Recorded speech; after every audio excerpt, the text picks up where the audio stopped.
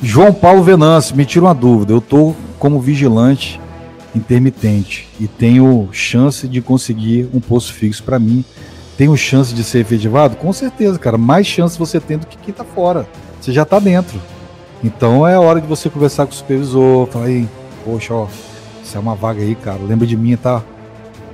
Sempre que você precisar, eu tô aqui, lembra de mim. Então, você tem que fazer o seu papel aí. Você já tá dentro da empresa, cara. Você já sabe fazer o serviço. Então vai chegar a sua hora. Mas aproveita que você já está trabalhando, corra atrás de outro, tá? Porque a gente não pode ficar num intermitente ali achando que está empregado. Corre atrás de outro, cara. Aproveita que você está aí, corre atrás do outro, faz outras entrevistas aí. Sai fora dessa empresa se ela não te valorizar.